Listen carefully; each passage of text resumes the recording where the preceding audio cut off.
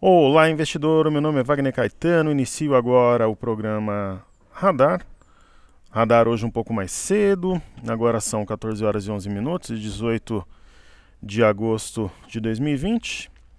E eu vou começar aqui os estudos pelas bolsas americanas. O seu like é muito importante, compartilhe o vídeo, fale do canal nas suas redes sociais e na descrição dos vídeos tem todas as nossas redes Instagram, Facebook, o nosso site, também o Telegram gratuito. E também na parte alta do nosso canal aqui no YouTube tem o Seja Bem-vindo à Bolsa, um treinamento com qualidade digital de som e imagem. Pessoal, eu vou começar os estudos pelas bolsas americanas. A gente tem o Dow Jones aqui na tela. Os futuros americanos trabalharam com uma oscilação bastante contida durante a madrugada, isso se repete no mercado à vista. Está simplesmente de lado, caindo 0,01%. Uh, ah, ao mesmo tempo que o Dow Jones passa uma ideia de correção no tempo, eu entendo que existe um, um ponto importante aqui de referência, que é o 27.580, que se for perdido traria o benchmark americano ou na média de 21, até mesmo na CLTB que conecta os últimos topos. Aí nós vamos ter a seguir o S&P. O S&P subindo 0,32. Existe uma região 3.388 que eu entendo como divisor de águas. O mercado foi abaixo, mas ele reagiu. Eu iria além, se houver a perda da mínima de hoje em 3,370, a média móvel de 21 seria um alvo, bastante provável. E a seguir a gente tem o índice Nasdaq, né, que surpreendentemente renova a máxima histórica. Aí o estudo, a estratégia para quem opera um ativo derivado, tem uma referência no índice Nasdaq, é o topo anterior. A gente usa o intraday mesmo pela máxima do candle, 11.121 no dia 6, 11.126 no dia 7, então 11.126, uma vez perdido, provavelmente traria um teste da média de 21 e ou da LTA, que aí depender dos desdobramentos. Perfeito? Falemos um pouco então da Bolsa de Xangai. Bolsa de Xangai é, é meio escondido, mas existe sim um pivô de alta, fundo, topo, fundo. Né? O ponto que desarmaria a alta seria a própria cabeça do pivô a 3.410 e o que tem que fez aqui a bolsa de Xangai busca essa região de máximas 3 460, 3,456 por aqui. Fechou bem pertinho, né? E é uma região propícia ou a um rompimento para continuidade da, da compra de forma até relativamente tranquila ou para formação uh, de um candle que traga uma correção. Lembrando que enquanto acima de 3,410 a compra predomina, abaixo entendo eu que haverá um movimento corretivo. A bolsa da França, Europa, ela vive uma realidade um pouco diferente das bolsas americanas, não muito também, nada dramático, mas assim, você tem candles, quatro candles vermelhos, existe um arame de topo, um pivô que foi anulado hoje uma vez que fechou abaixo de 4,955, né? A gente vai ver algo parecido no índice Nasdaq também, só que não anulou a cabeça do pivô, portanto, que é 12.800, né, está acima, somente essa perda o faria. E a gente tem a bolsa de Londres, que é a bolsa que tem um ela tem focinho, orelha, rabo de topo, porque não prosperou acima da LTB, existe Twin Towers, está abaixo das médias e eu entendo que mira a simetria em V, como eu comentei ontem, no mínimo um teste de 5 980. Perfeito? Aí falamos do Bitcoin. Sempre em dólares americanos. O Bitcoin ele tem um padrão de topo. Isso daqui parece uma pinça, né? O ponto mesmo de stop seria é, o 12,080, tá abaixo, inclusive no momento. Eu colocaria meu lucro no bolso. Se eu estivesse exposto ao Bitcoin. E aí nós teremos a seguir o DXY, que é o dólar contra uma cesta de seis moedas, especialmente iene e euro, em queda. Né? Aqui no Brasil, uma movimentação lateral, mas interessante, porque o dólar, vamos mostrar aqui,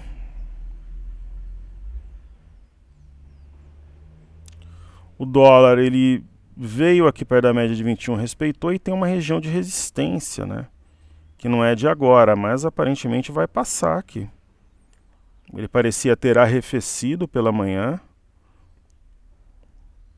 Foi uma oportunidade, inclusive, na ponta compradora, que ele ofereceu de fato, né? Eu falei sobre isso para os meus alunos. Ele veio aqui, trabalhou no vazio. Onde houve o sinal de fato? No segundo candle. Ele forma com o primeiro candle aqui um arami, a mulher grávida em japonês de fundo. Sinal de compra. O stop abaixo da mínima, ele veio no objetivo, que foi a região da máxima de ontem, aqui objetivo atingido. Uma simetria em V, isso daqui é um, uma barra oculta. Né? O Monster Gap foi fechado. Aí nós vamos ter também o EWZ, ETF brasileira negociada em Nova York. Né, ela está subindo 2,08, mas eu não vejo a pe... É, primeiro, ela comprou o objetivo primário, por isso que é bom realizar a parte lucro, você pode vender de novo, né, para tentar alcançar um patamar um pouco mais baixo. Então a realização parcial te dá a margem de manobra, é, isso, é, é exatamente isso que é a técnica do pêndulo. Né, girar a parte da posição para melhorar o médio. E o VIX continua aqui caindo. Usando um pouco a imaginação, os candles de ontem de, on de hoje, eles formam um padrão, apesar da mínima do movimento ter sido dia 11, mas dá uma ideia aqui de um padrão chamado ave migratória, que é quando você tem como se fosse um arame, só que o corpo da mãe e do bebê são da mesma cor. Passa essa ideia assim, mas não é nada tão forte ou em conteste.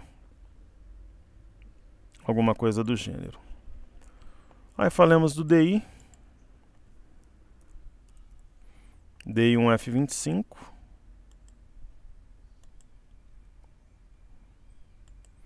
O DI fez o que ele tinha que fazer, agora arrefeceu. Ontem deixou uma pinça, uma pinça longe de média. Ele está nessa região aqui, né, pessoal, de máximas. O ponto aqui seria 5,730, natural. Eu, nesse momento, eu simplesmente realizaria lucro. Esperaria um movimento um pouco mais claro, uma pechincha, como aconteceu nessa compra aqui embaixo. Talvez seja um pullback, mas é um ponto de referência, até de stop mais para o finalzinho para quem está posicionado. Aí nós teremos o IFNC, primeiramente. Índice do setor financeiro. Né, o IFNC teve aquela história da prancha do pirata, ele quase veio no alvo. Seria uma pegadinha aqui com os, os vendidos, vai subir tudo de novo. Ou é só um voo de galinha? É só observando o pregão de amanhã para saber. Né, a gente pode tentar tomar por base aqui o, os bancos. Né? Banco do Brasil não tem força, está abaixo de 32,90. Né, a gente vê Bradesco também fraco, um candle vermelho. Professor, mas você comentou do. Ele que veio no objetivo, você comentou da ave migratória. É uma possibilidade, só que ele abriu em cima e está aqui embaixo. Vamos ver o fechamento. Né? Amanhã, vai, sabe o famoso dia depois de amanhã? O amanhã é hoje, porque ontem teve o assunto do Guedes. Então amanhã é que a gente vai ver. Mas com, concorda comigo que não tem força, que não muda em nada o movimento predominantemente, predominantemente baixista, uma alta de 0,39 aqui? Então. Aí fazemos a BEV3. Aqui também a Ambev, ela veio no, no ponto dos 13 reais, que é um ponto importante, está deixando um arame. Se eu estivesse vendido, acho que eu encerraria uma parte. Faria um topo duplo aqui, talvez. Acho que o 1307 é uma referência. Se arrefecer no final ou a mesma manhã, aí a saga da venda continua empurrando o preço para baixo. E um dos grandes responsáveis, né, um dos ativos responsáveis pela alta de hoje é B3SA3. Né? Ontem ela veio no alvo que nós traçamos desde esse dia, desde o dia 21 de 7, que é os 57,60, e não tenha dúvida que muita gente, até que segue o nosso trabalho, tudo zerou. Seria pretensioso falar isso que é um ativo muito líquido, mas aqui é um ponto manjado, né? Então muita gente sabe dessa região e realizou lucro da venda. A alta de hoje é uma alta importante. Seriam vendidos zerando, seria uma reversão. Amanhã saberemos, mesmo porque está abaixo da média de 21. Então, pelo menos por enquanto, é um repique. Perfeito? Vou falar de dois ativos de varejo e dois de siderurgia hoje. Então, vou falar de B2W, que também veio no objetivo. Tem uma ideia do oco inclinado aqui, seja o que for. Ela em teoria cumpriu seu objetivo após perder a CLTA. Uh, inclusive fechou o gap, né? A 109 com 20. Uh, é momento de, de realizar lucro de venda, né? Agora entrar na compra é bacana para quem comprou ontem no meio da bagunça. Agora nesse momento, depois de subir 5%, que é um objetivo de guerrilha, aí eu já acho que não tem exatamente um sinal e Via Varejo, VVR3. A Via Varejo ela veio fazendo um movimento de queda, porque fez topo mais baixo que o anterior. Correto? Ela ainda tem uma inclinação baixista, mas é um sinal aqui de alguma reação talvez um arame. Depende muito do fechamento e do movimento de amanhã, até do movimento macro da coisa. E eu vou falar também de duas ações de siderurgia. Eu vou falar de GGBR4. Os metais aí estão em alta, é um dos motivos também da alta de hoje. Deixa eu ver como é que está aqui. Está subindo 2%, né? Então, o setor de siderurgia é destaque, né? Pô, minério é 128 dólares, né, pessoal? O que a Gerdau fez, finalmente, fechou esse gap. Ela não tinha fechado, ó. 18,85. 18,89, na verdade, tinha fechado, sim. Então, o que ela fez foi se apoiar na média. E o 18,54... Aí, sabe o que eu gosto de fazer? Você está vendo aqui Gerdau, né? Então eu apago o ponto mais antigo, o gap está fechado. O que, que eu faço? Eu tomo como base, para quem está comprado, 18,89. Então muitas vezes eu vejo alguns profissionais que você acaba vendo em estudos falando, ah, o mercado está subindo é por causa das bolsas americanas. Pô, não é. Vários dias que as bolsas americanas subiram, aqui caiu.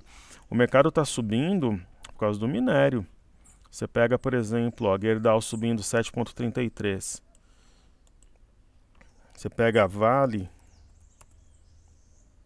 ó, subindo em 78. Tem um peso gigante na bolsa. Né, está acima de 63. Né? Então Vale subindo. A gente não viu a Petro também. Vamos ver, daí a gente faz a outra. Ó, Petro 4. Então tem a ver com o negócio do Paulo Guedes e Bolsonaro, mas tem muito mais a ver com a China, com o minério. Você pega a Petro, né? Ontem ela ficou bem perto aqui de fechar o gap, 22,05, 22,15. Por isso que eu sou a favor de movimentos de realização parcial, quando você está na venda aí, por exemplo. Você tem margem de manobra, fica mais tranquilo. O que a Petro que é possível fazer no momento, vamos ajeitar esse gráfico aqui. Esse ponto não é tão importante. Está uh, acima do 22,55. Eu acho que essa linha, essa reta,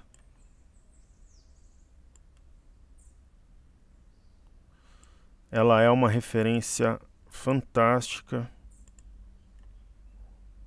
importante no momento. Bateu e voltou, né? Vamos ver o petróleo.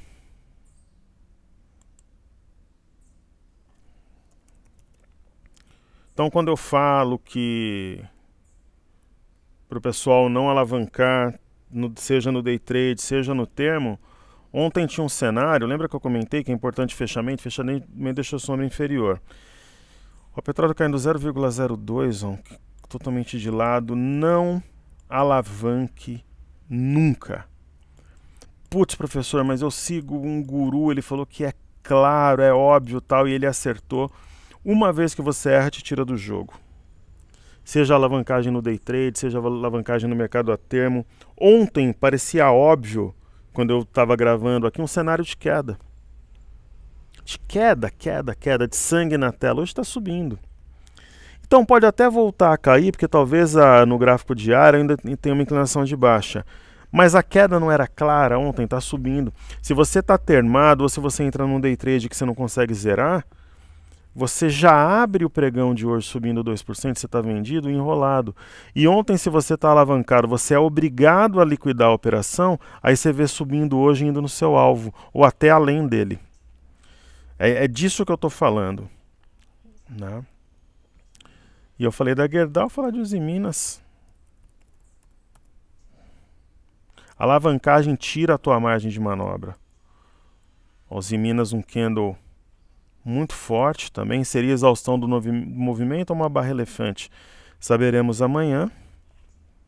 Eu que trabalharia nesse caso com stop intraday, um gráfico de 30 a 60 minutos, para não deixar escapar lucro. E CSN a 3.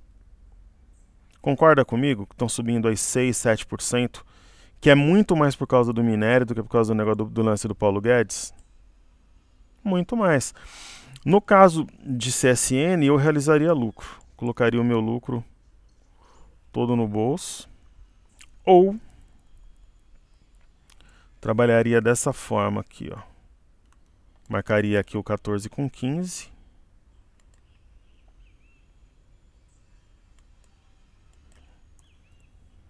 E ele seria o meu stop. Mas não é um desperdício estopar em 14 com 15?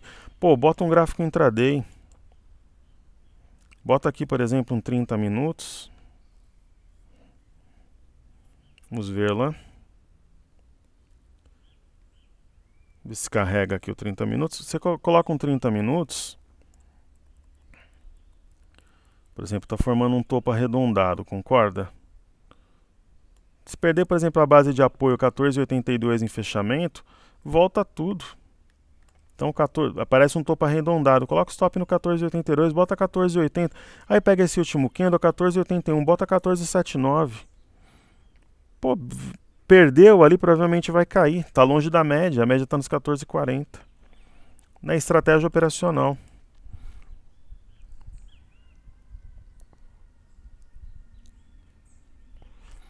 Bom, falei de todos os ativos fixos, né? Aí nós temos Bova 11. Bova 11 aqui no semanal. Dá para ver bem essa LTB no diário também. Não, o Bova 11 tem a figura do oco ainda, vívida, como diria o poeta. Uh, até este momento é somente um repique até a média de 21. Por exemplo, o fechamento de sexta-feira, 97,47, está em leve alta.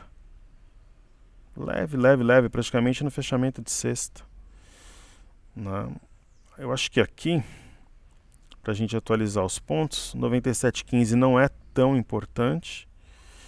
A gente não precisa nem marcar para não bagunçar o gráfico, mas o 97,09 é importante, uma vez perdido, e principalmente o 96,25 se for perdido de novo.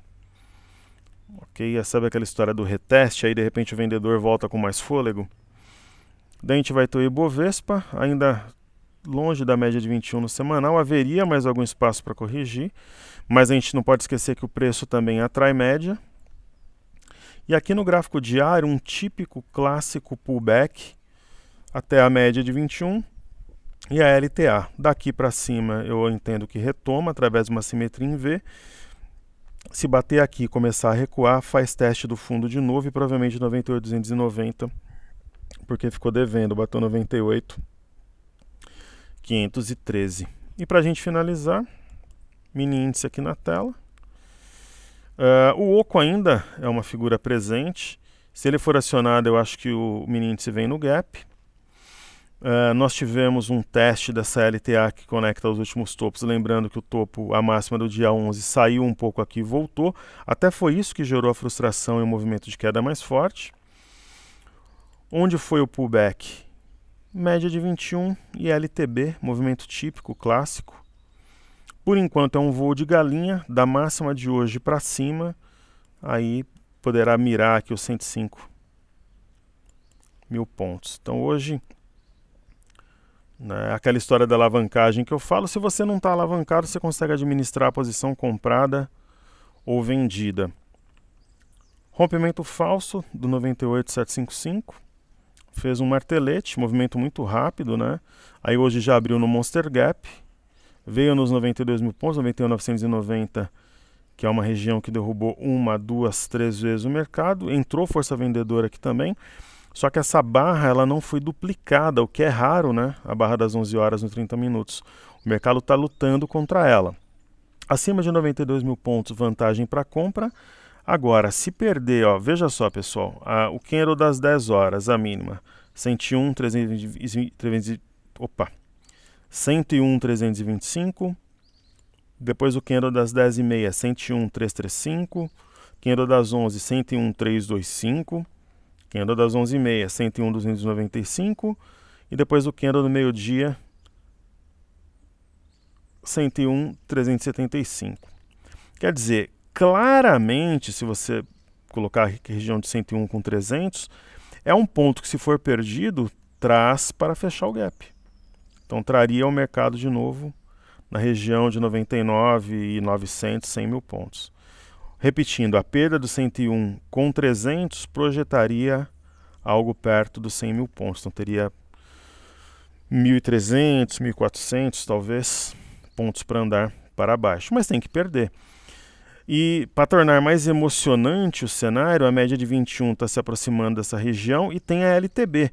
Quer dizer, na região de 101 e 300 está sendo formado um triplo suporte pelo próprio suporte batido várias vezes, média e LTB. Então é um ponto que pode ser tocado. Eu acho que vai ser tocado, seja hoje amanhã, que pode impulsionar o preço, gerar uma forte correria na compra, tipo os atrasados, né?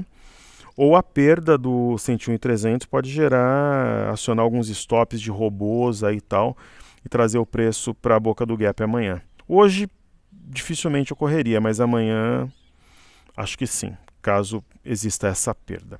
Perfeito? Então é isso. Uh, deixe o seu like, compartilhe o vídeo, seja bem-vindo à Bolsa à disposição, as redes sociais na descrição do vídeo. Muita saúde, saúde e paz a todos, sucesso. Seguimos juntos porque juntos somos mais fortes e com todo respeito ao pessoal de Curitiba, onde inclusive tive uma empresa, uma asset, há muito tempo atrás. Amanhã Corinthians e Curitiba, Corinthians 5, Curitiba 0. O último gol vai ser do Cássio de cabeça. Pessoal, e amanhã, depois da, da rodada de amanhã e quinta, eu mostro a, como está o Cartola aqui, a Liga dos Investidores Wagner Caetano. Forte abraço a todos, pessoal. Valeu!